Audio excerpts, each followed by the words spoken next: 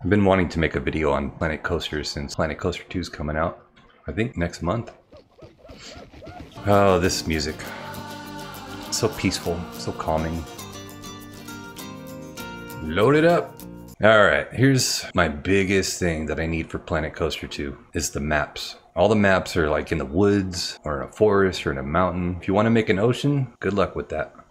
This is my attempt at making an ocean. You can't do it. It just ends up looking like a lake. What I really hope is that they actually add like a beach or an ocean terrain. So it's just ocean, please. Add an ocean map, especially considering you got water parks. So I took a trip to Croatia and I went to the place where they actually filmed King's Landing for Game of Thrones. I wanted to recreate it and it's right on the ocean. It's really cool. I actually went jet skiing. It was sick. It's pretty accurate to the real life place. Let's take a look at this place.